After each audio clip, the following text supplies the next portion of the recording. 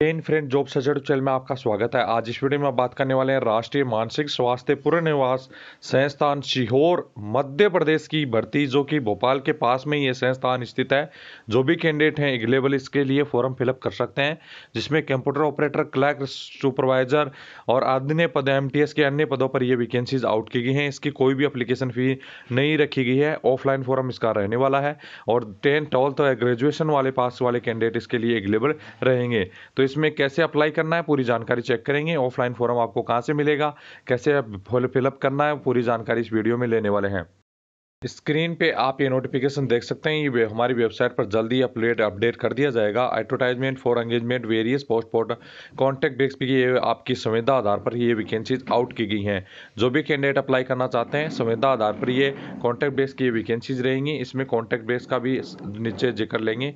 यहाँ पर आप देख सकते हैं श्योर मेन रोड पर ही इंदौर हाईवे पर ही आपकी, आप जो यूनिवर्सिटी या इंस्टीट्यूट आपका बना हुआ है।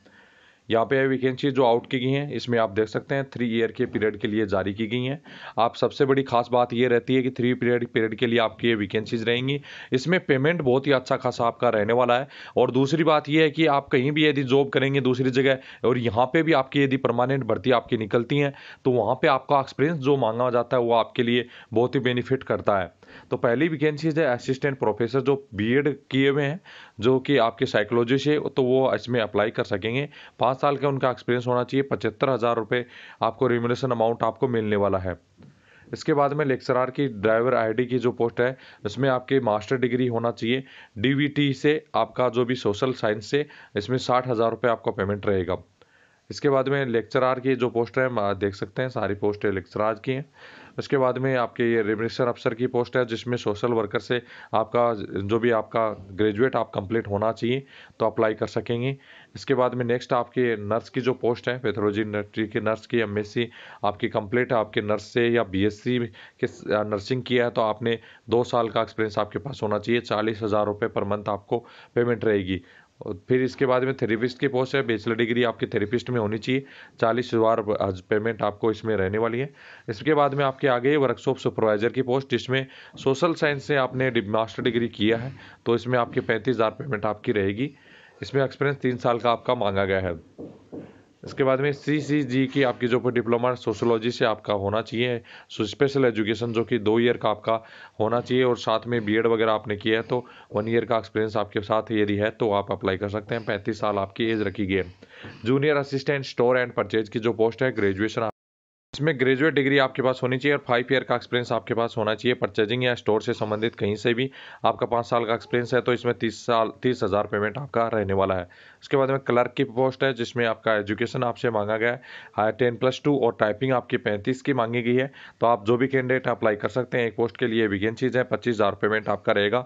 तो ये बहुत अच्छा आपके पास मौका है। यदि आप दो साल का कहीं से भी कंसर्न एरिया का एक्सपीरियंस सर्टिफिकेट बनवा सकते हैं और आपकी टाइपिंग है, पैंतीस की आती है इंग्लिश में तो आराम से आप टेन प्लस टू वाले कैंडिडेट इसमें सिलेक्शन ले सकते हैं। बहुत ही शानदार मौका है। कंप्यूटर ऑपरेटर की भी सेम आपकी पोस्ट है जिसमें नेटवर्किंग से संबंधित आपके पास कोई डिप्लोमा हार्डवेयर से संबंधित होना चाहिए। तो आपके ग्रेजुएशन के साथ तो आप अप्लाई कर सकते हैं। पच्चीस हज़ार पेमेंट आपको मिलेगा। एम टी एस की दो तो, दो टोटल पोस्ट है जिसमें ओनली आपका दसवीं पास वाले सभी कैंडिडेट अवेलेबल रहेंगे। अठारह हज़ार पेमेंट आपका इसमें रहेगा। तो ये पेमेंट आपको देख सकते हैं। इमोलेशन अमाउंट जो दिया गया अठारह हज़ार बेसिक आपका जो भी इसमें मंथ पर मंथ रहेगा, ये भी बढ़ने वाला है। अगले जैसे साल साल बढ़ता जाएगा, उस पर आपका पेमेंट ज़रूर बढ़ेगा। ये इसमें आपका स्किल टेस्ट इंटरव्यू या जो भी कुछ होगा, उसके आधार पर आपको जो भी जो आपकी ईमेल है, उस पर आपको सेंड किया जाएगा। टाइम और डॉक्यूमेंट वेरिफिकेशन के लिए भी आपका उसी भी सूचित किया जाएगा। अब आपको बता दूँ कि इसमें आपको कुछ भी नहीं करना है। एप्लीकेशन फॉर्मेट आपको मैं दिखाऊँगा। उस फॉर्मेट को कंप्लीट भरना है। और साथ में उसके साथ ही सेल्फ अटेस्टेड कॉपी आपकी सेल्फ अटेस्टेड कॉपी को सभी को स्कैन करके कंप्लीट एक सिंगल पीडीएफ बनानी है। उस पीडीएफ को आप इस वेबसाइट पर छेड़ना है, जो कि ईमेल आईडी आपकी दी है सॉरी ईमेल आईडी पर आपको आपको सेंड करना है। इक्कीस दिन का टाइमिंग दिया गया है तो आप थर्टी जो भी तीस दिसंबर तक आप इस फॉर्म को अप्लाई कर सकेंगे। आराम से फॉर्म फिलअप कर सकते हैं, अभी टाइम है आपके पास।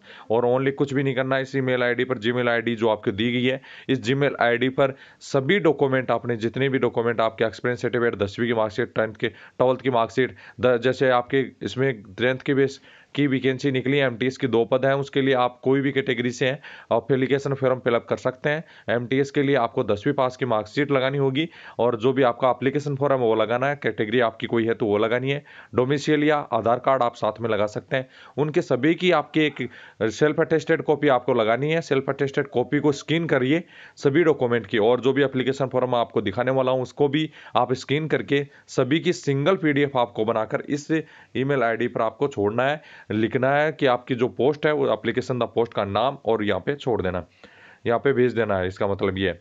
तो यहाँ पे आप देख सकते हैं, आप जो भी कैंडिडेट हैं, इस जो भी एड्रेस दिया गया है ईमेल आईडी उस पर सेंड करना है तो आपके पास टाइम अच्छा है, अभी आराम से फिलअप कर सकते हैं। जैसे कि मैंने बताया था एनुअल इंक्रीमेंट तीन परसेंट आपका लगेगा, जो भी पेमेंट होगी, उसमें आपका तीन परसेंट एनुअली इंक्रीमेंट आपको लगने वाला है।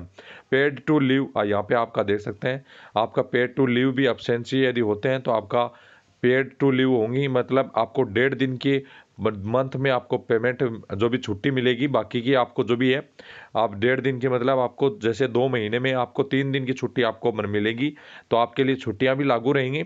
इसके अलावा पेड लीव का मतलब ये है कि आपको तीन दिन की छुट्टी दो महीने में आपको पेमेंट के साथ मिलेगी। मतलब आपका कोई भी पेमेंट उसमें नहीं कटने वाला है। बाकी की जो हॉलीडे वगैरह रहेंगे संडे रहेंगे, वो सभी आपको मिलेंगे इसमें। इसके बाद में आप देख सकते हैं, इसलिए तीन साल को बढ़ाकर पाँच साल भी किया जा सकता है।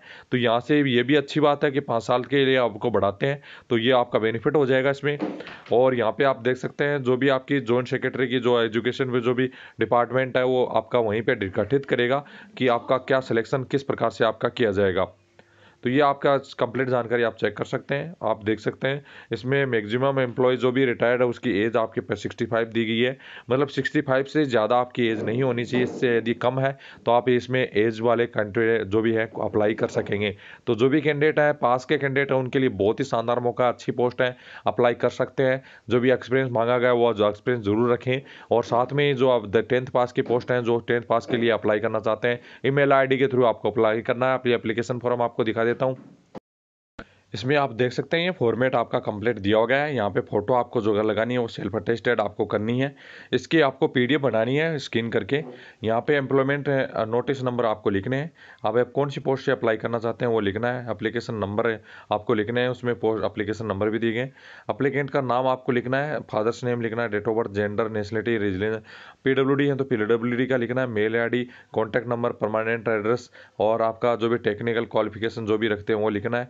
एक्सपीरियंस कोई रखते हैं तो वो भी आपको लिखना है। इसमें नॉर्मल क्वालिफिकेशन और जो भी टेक्निकल दोनों लिख सकते हैं।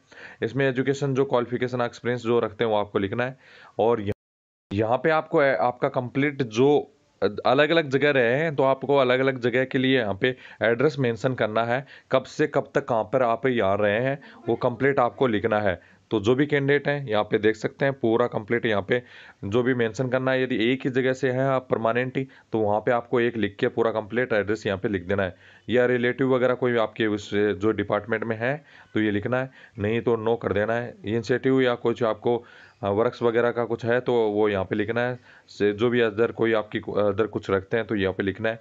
यहाँ पे कैंडिडेट के सिग्नेचर यहाँ पे डेट या प्लेस ये सभी लिख कर आपको यहाँ पे सेंड करना है। तो यहाँ पे देख सकते हैं कुछ ज़्यादा बड़ा लंबा अप्लीकेशन फॉर्म नहीं है, कोई भी अप्लीकेशन फॉर्म की अप्लीकेशन फ़ी भी नहीं लगने वाली है। ये हमारी वेबसाइट से वे टू डॉट कॉम से डाउनलोड कर पाएँगे या आप मुझे पर्सनल मैसेज करके भी जानकारी इसके अप्लीकेशन फॉर्म ले सकते हैं। जो भी कैंडिडेट अप्लाई करना चाहते हैं अप्लाई कर सकते हैं। इससे कोई आपका पैसा नहीं लगने वाला है, ईमेल पर आपको अप्लीकेशन छोड़ना है और यदि आपका लिए एडमिट कार्ड आता है तो आपको वहाँ पे इंटरव्यू वगैरह, जो भी स्किल टेस्ट वगैरह, जो भी करवाया जाएगा, उसके लिए आपको जाना है और आपका अच्छा खासा पेमेंट इसमें मिलेगा इंक्रीमेंट भी मिलेगा। अदर कुछ अलाउंसेज भी आपको रहते हैं, जो मिलते हैं जिसमें अभी वैसे इसमें बताया नहीं गया है, क्योंकि जो भी अलाउंसेज जैसे कि एक्स्ट्रा उसका आपको अलाउंसेज दिए जाते हैं, यदि आप पेमेंट आप एक्स्ट्रा ड्यूटी का काम करवाते हैं तो तो ये आपके लिए बहुत ही शानदार पोस्ट है, आपके पास की पोस्ट है तो बहुत ही अच्छा मौका है। बाकी ये दूर के लिए भी हैं तो भी आप अच्छा इसमें कमाई आपकी अच्छी खासी रह सकती है, क्योंकि एज आपकी कोई भी काउंटेबिलिटी नहीं दी गई है, एज कितनी भी एज है आपकी हो गई है तो इसमें अप्लाई कर सकते हैं। इससे संबंधित अदर किसी कैंडिडेट की कोई क्यूरी है तो कमेंट बॉक्स में कमेंट करके पूछ सकते हैं। जैन दोस्तों।